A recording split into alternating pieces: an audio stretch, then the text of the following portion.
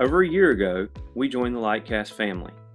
In doing so, we left behind one of their competitors that we had worked with for over five years.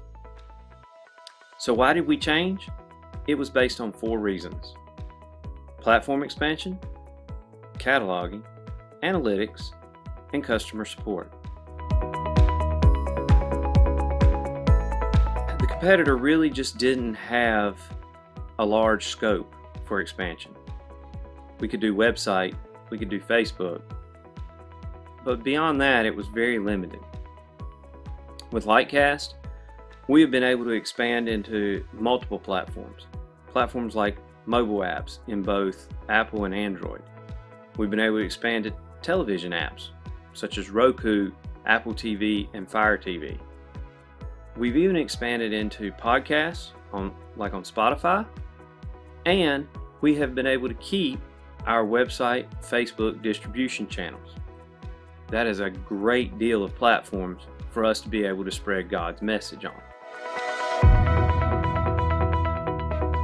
We can set up channels and sub channels and even media groups. That has allowed us to go in and be able to break up all of that five plus years of, of video storage and use it however we need it and to be able to have access to it quickly and easily. So the analytics has been unbelievable. And it, like I was saying, you can break it down by platform, by channel, by time, by location, almost any, any possible way you can imagine. You can break it down and see the analytics for any particular broadcast.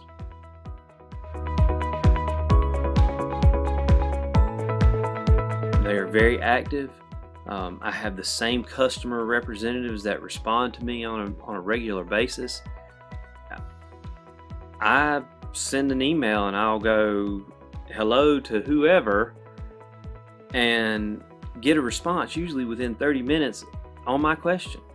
And if it's something that requires more than just an email, there is never a hesitation to make a phone call. I've been very, very pleased with the customer service. Platform expansion, cataloging, analytics, and customer support. All four of them are above reproach. We have found a home with Lightcast that we look forward to spending many years to come spreading God's message through their services.